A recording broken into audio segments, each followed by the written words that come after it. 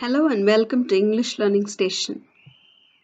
Today let us learn about abbreviations and acronyms.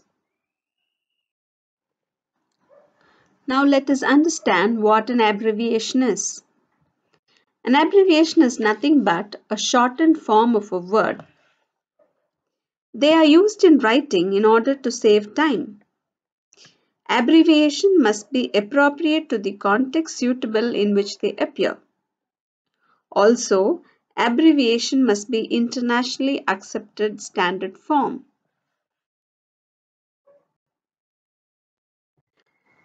There are different forms of abbreviations and let us learn one by one. The first is initialism. Initialism is one type of abbreviation where the, the first letter of every word in a term is taken to form the abbreviated form of the term. For example, FBI and CIA are examples of initialisms because they are made up of the first letters of Federal Bureau of Investigation FBI and Central Intelligence Agency CIA respectively. But remember, in initialism, we would not pronounce them as a word, but we will individually pronounce every letter of the abbreviated term.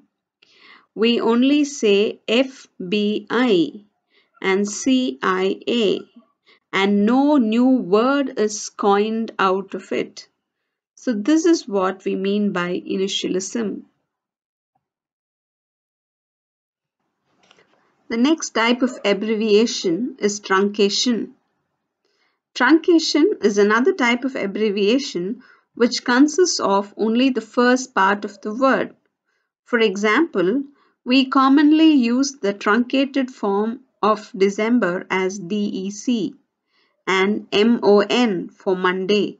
So, this is what we mean by truncation. The third type of abbreviation is contraction. Contraction is nothing but the abbreviated form of the word that is formed by taking the first and the last letter of the word. For example, DR for doctor and ER for engineer. The next type of abbreviation that we're going to learn is acronym. Acronym is often confused with abbreviation. So what is an acronym? Acronym is similar to another type of abbreviation called initialism. We've learnt it earlier that in initialism, the first letter of every word in the term is taken and the abbreviated form is written. For example, CIA and FBI. So these two are the examples that we've seen for initialism where the first letter of every word in the term is taken and we utter every letter separately. We do not form a word out of it. So that is what we call as initialism. But here in acronyms, we pronounce it as a word. To understand it better, let us look at the example that has been given. The acronym for North Atlantic Treaty Organization is NATO. N-A-T-O. The first letter of every word of the term is taken to form the acronym NATO. We pronounce it as a word. The next example is the acronym formed out of the term Acquired Immunodeficiency Syndrome. AIDS. The first letter of every word in the term is taken to form the acronym AIDS. So this is what we call as acronym. So acronym is nothing but a subset or a type of abbreviation. So to have a better understanding and to remember it better, I've given you a short sentence all acronyms are abbreviations but not all abbreviations are acronyms. There are different types of acronyms and let us learn one by one. The first is backronym. Backronyms are acronyms which are constructed from already existing words in dictionary. To have a better understanding, let us look at the example that has been given. The acronym for the term Ariane Passenger Payload Experiment is APPLE Apple.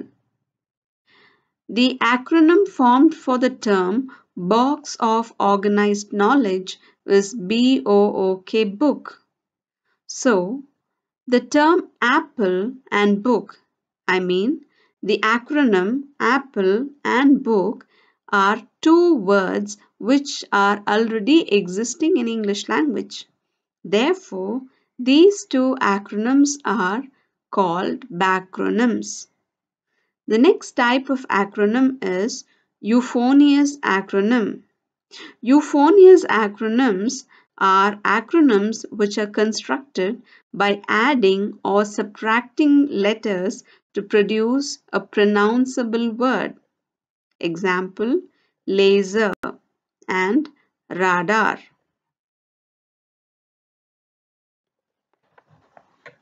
The third type of acronym is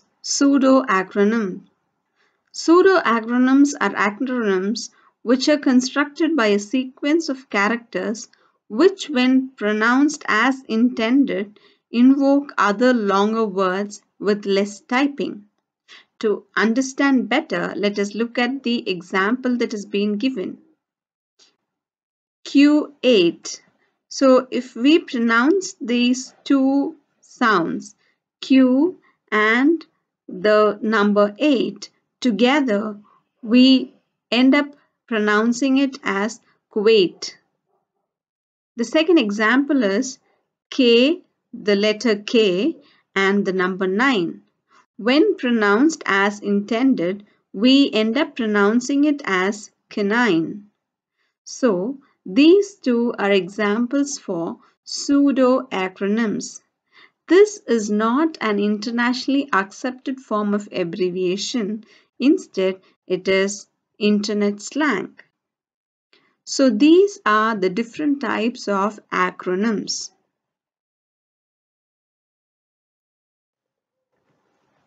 With this, we come to the end of a lesson on abbreviation and its type.